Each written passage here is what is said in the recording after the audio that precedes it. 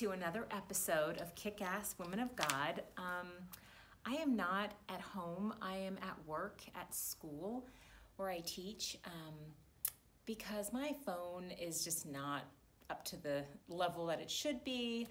Um, the camera is kind of broken, so I'm kind of doing this in a different way anyways and i just find it more accessible if i just take do these videos when i'm on the go yes the lighting's not as nice and all that stuff but you know i know some people ministries they manicure theirs. Um, i'm on the go a lot so i just want to do these videos. It's really for me. If it blesses somebody aside from my mom that's great. Um, as always though i will say please if you like this video please share please subscribe and um, you can hit the click the alarm bell or the little bell to get notifications of when it's coming. So just share, you know. But again, um, I just today we are going to be talking about. I introduced the video with me roller skating, just a 15 second clip, because it's been on my heart for the past few uh, months about Miriam.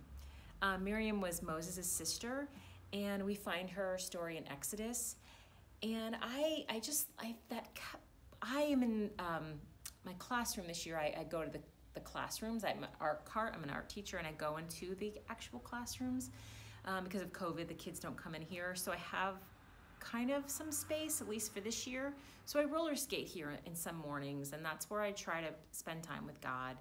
And I just keep getting this visual of Miriam and how she led um, the Israelites through the Red Sea with worship and song. And, and I, I just want that to, that's a, fact. And the sad thing that she's remembered for is, I guess, um, being bitter and, you know, getting leprosy and rebuking Moses. And it's just, yes, that is a fact too. But many times in my, my heart for this ministry, my heart for these videos is to empower the role of women that God um, uses in the in the Bible. Like they are not, He doesn't downplay them. And what my heart is to really see, you know, ministers, pastors, especially male ones, you can make cross references to at least one woman in your sermon a week. Like it's poss it's totally more than possible. That's how much volume, that's how much space God gives to these women in the Bible like it's a remarkable. It isn't like this and we got to search for hours. Like it's there.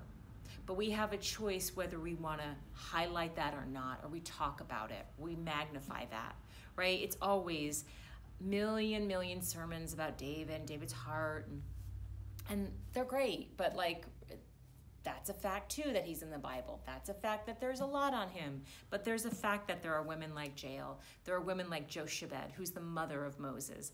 There are women like Miriam, who's Miriam's sister, who actually, um, I'm just going to read really quickly for um, Moses, uh, Exodus chapter 2. A man from the Levi tribe married a woman from the same tribe, and she later had a baby boy. He was a beautiful child, and she kept him inside for three months. But when she could no longer keep him hidden, she made a basket out of reeds and covered it with tar. And she put it in the basket and placed in the tall grass along the edge of the Nile. The baby's older sister stood off at a distance to see what would happen to him. That basically the the basket is made of resin and tar, which is super strong, right? They knew what they were doing. Jochebed, who we find in Exodus 6, um, they don't say her name right off the bat, Moses' mother, but they list her as in chapter 6, verse 20, Amram lived to be 137. He married his father's sister, Jochebed, which is problematic, but a fact. And they had two sons, Aaron and Moses.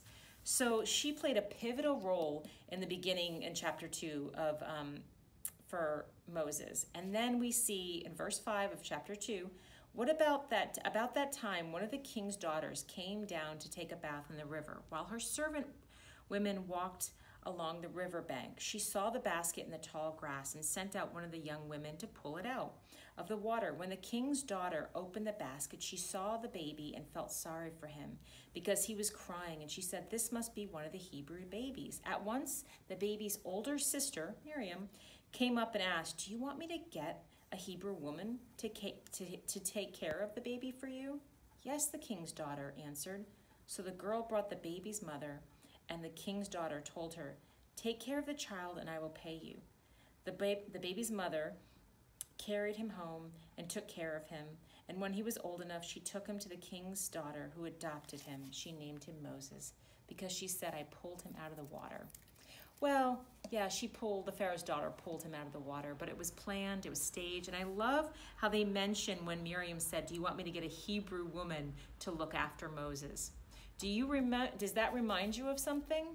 I hope it does, because we went over this quite a few times. Puah and Shiphrah.